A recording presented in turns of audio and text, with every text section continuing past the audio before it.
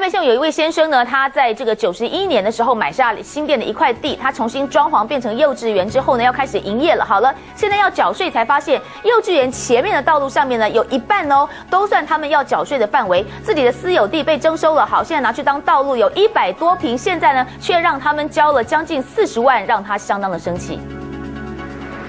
幼稚园里头，小朋友开心玩耍，但殊不知他们的负责人正跟北县府大打土地交割战。就在园区前方的玫瑰路，从围墙到路的一半，早就被当作公用。查了地号，发现这块地还要他们每年缴税，这笔钱真的是越缴越不甘心。已经前前后后有七年了，这是一个生意的是以费的生意啦。那么每一年都大概差额大概五万块了。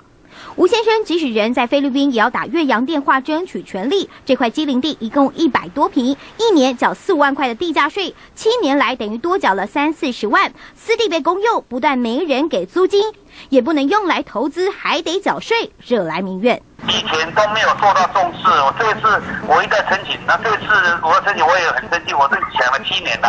他说好，我们开始调查。他说我申请以后，他现在是七年，现在才开始调查。也也感谢还有谁问了，以前他们这什么讲话啊，这是不不不问这样子。类似的案件恐怕不止这一件，全国各地常常有私人土地被认定是继承道路，民众可能得拿出地契多瞧瞧，别让自己的权利睡着了。中天新闻社会中心综合报道。